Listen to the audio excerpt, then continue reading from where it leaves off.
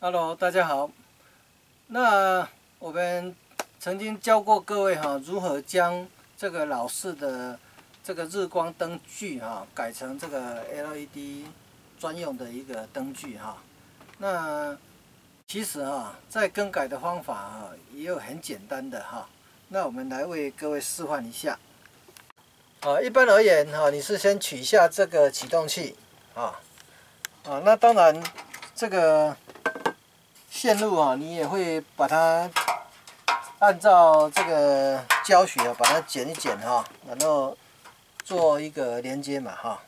那这个大家哈可能会有点疑虑哈，怕剪错哈啊。那我现在跟各位讲一个比较一个简单的方法哈，就是说你这个这个夹子哈也都不要用啊，所有的旧的东西都不要用。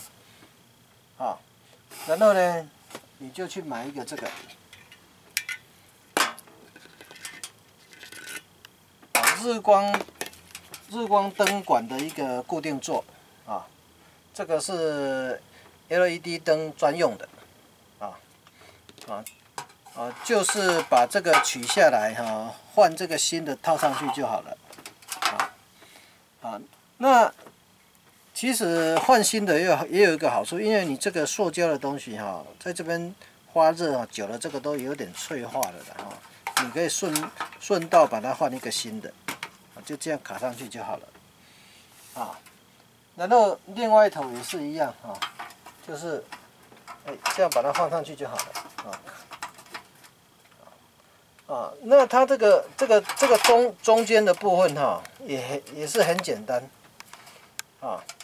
它是用夹头的，啊，你只要把你的那个电源的这个线哈，剪短短的，大概零零点五到一公分之间哈，把它插下去就好了。你看这样啊，插下去就夹住了，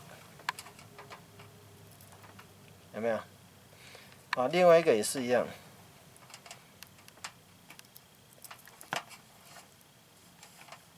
很方便的哈。那我们来试给各位看哈，你你这个日光灯管哈，LED 的日光灯管就把它放上去，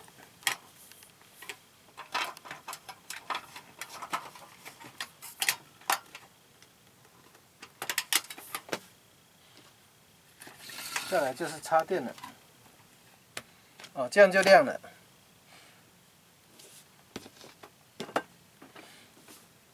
哦，那这样做的话有个好处，你不会怀疑到底有没有剪对线或是剪错线的哈。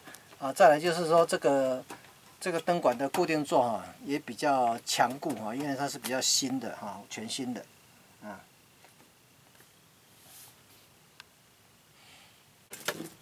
那你如果是哈双管的日光灯的话，你就买这一种啊啊，这样就可以了。